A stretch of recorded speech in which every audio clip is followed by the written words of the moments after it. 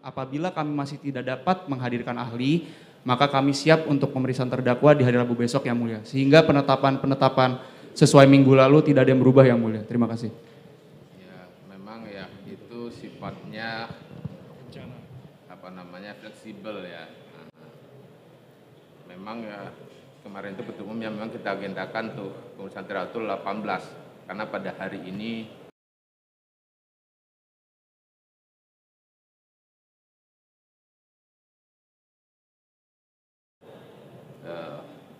cuman memang berdasarkan asas peradilan cepat memang bisa saja kita tanpa melakukan penundaan apa namanya mengagendakan untuk sidang berikutnya langsung pada terdakwa bisa saja. Namun saya apa namanya ingin ketegasan.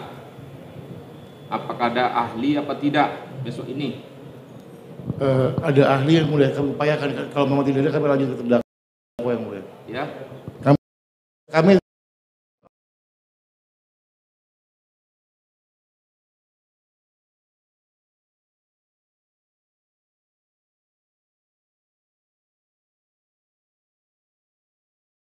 eh, mengatakan seperti itu maka kita mengikuti apa yang Hmm. yang mulia perintahkan. ya apa namanya ini nggak bisa kita apalagi ya karena memang Ya, baik. kita sudah apa namanya sudah dihukum waktu lah ini. Ya dihukum waktu.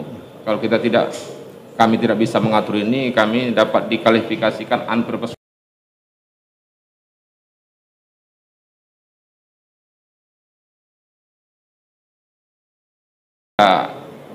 apa namanya pusat hukum ya supaya apa namanya eh, menyiapkan nanti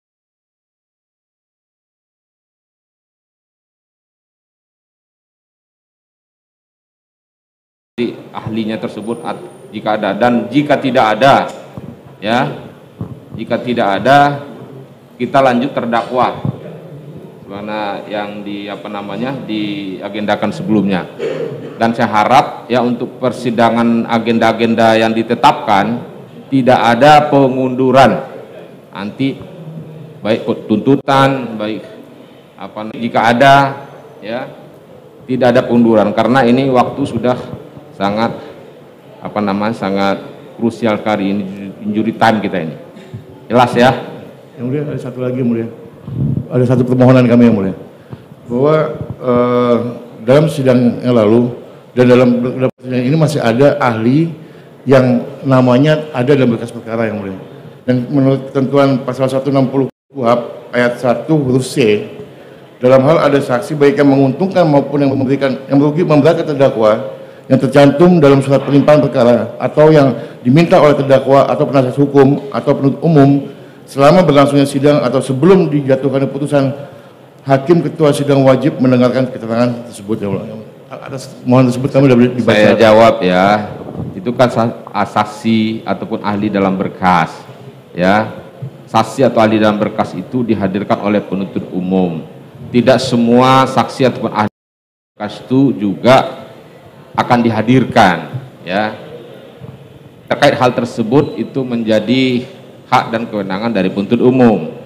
Jadi mengenai hal tersebut ya ya kita tidak bisa apa nama eh, manukan untuk didengar eh, saksi atau ahli tersebut ya karena apa keterangan yang ada di berkas tentunya adalah keterangan mendukung apa namanya eh, surat dakwaan dari penuntut umum ya kalau menurut penuntut umum ya tidak mendukung atau tidak diperlukan atau sudah cukup ya kita tidak bisa memaksakan itu harus dihadirkan dibacakan ya Gini yang mulia. Eh, Majelis Hakim yang mulia dan kami muliakan. Pada persidangan yang lalu, penuntut umum juga kami tidak berkeberatan untuk membacakan, tapi karena tebal sekali, maka kami menyarankan agar tidak perlu dibacakan, tapi dianggap dibacakan. Nah,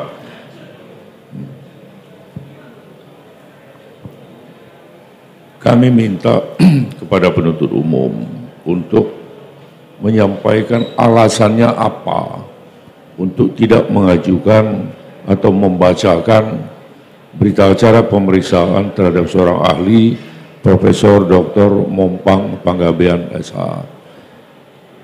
Kalau kita katakan bahwa kewenangan penuntut umum, kami berkeberatan karena kesannya bahwa penuntut umum hanya mengajukan bukti-bukti, boleh mengesampingkan bukti, boleh mengesampingkan berita acara yang pro justisia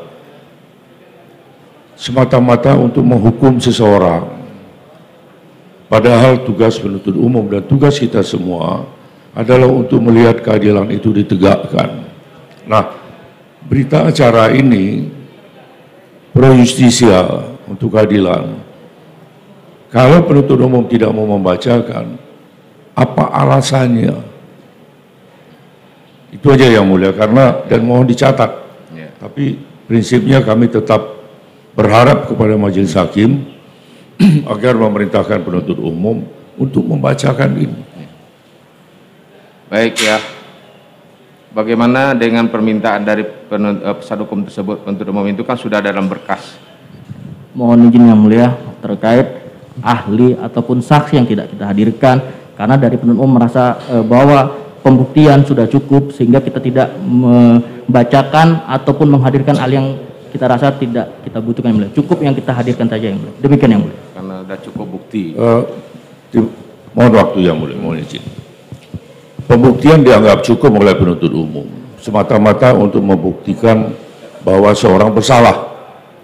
Padahal ada berita acara yang kalau ini kalaupun tidak dibacakan dianggap dibacakan. Di sini ada hal yang menguntungkan terdakwa. Tidak boleh penuntut umum mengesampingkan oh ini mengakibatkan dakwaan kami tidak terbukti. Tidak boleh. Karena prinsip tugas penuntut umum bukan melihat seorang dihukum, tapi melihat bagaimana keadilan itu ditegakkan. Mari kita tegakkan bersama. Kami tidak menuntut itu dibacakan semua. Dibacakan nama ahlinya, diperiksa kapan, selanjutnya tidak dibacakan, tapi dianggap dibacakan. Jadi kalau alasannya kami menganggap sudah cukup, ini peradilan apa? Ada 40 orang saksi, wah 20 aja cukup. Ini kami nggak perlu. Karena dakwaan kami sudah terbukti. Terbukti. Tapi kalau ini dibacakan atau ini diperiksa, belum tentu terbukti. Itu mulia.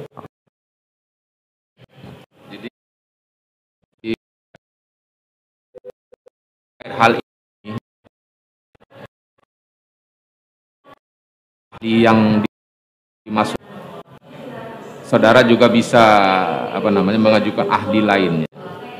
Kita hari Rabu itu masih menganukan ahli. Apakah saudara mau ngambil ahli tersebut? Itu terserah saudara ya. Atau juga mengambil ahli lain. Atau juga ya bisa saudara jadikan mungkin sebagai hal yang bisa dijadikan alat untuk peninjauan kembali terkait atas di pro justisia yang tidak dianukan terserah saudara Baik, begini ya mulia. ya. Untuk menghemat waktu, peradilan apabila ini dibacakan atau dianggap dibacakan. Sekarang apa alasan penuntut umum untuk keberatan? Di KUHAP hanya dibacakan, tidak harus penuntut umum yang membacakan. Kalau majelis hakim memerintahkan kami untuk membacakan, akan kami bacakan yang mulia. Karena ini pro justisia, ada dalam berkas perkara. Penuntut umum tidak boleh menghilangkan saudara Dan penuntut umum ya, sudah ya salah dan menerapkan hukum kalau sampai ini tidak dilakukan. apakah saudara akan membacakan keterangan ahli tersebut Saya rasa kita tidak yang mulia. Kita cukup apa yang sudah kita sampaikan, kita periksa terkait ahli ataupun saksi yang sudah kita hadirkan. Terkait lainnya kita rasa cukup, cukup yang mulia. Demikian yang mulia. Saya kira begitu aja ya Ah, yang mulia, persidangan meriksa perkara pidana bukan monopoli penuntut umum menganggap cukup atau tidak cukup. Kalau kami diberikan hak untuk mengajukan ahli, ini kami tidak pergunakan. Jangan hilangkan ini. Jadi bukan alasan hukum, tidak yuridis argumentatif. Kalau alasan kami anggap sudah cukup, cukup untuk membuktikan dakwaanmu. Tapi tidak cukup untuk menegakkan kebenaran. Ya. Di sini banyak sekali hal yang sangat menguntungkan terdakwa. Baik, baik ya.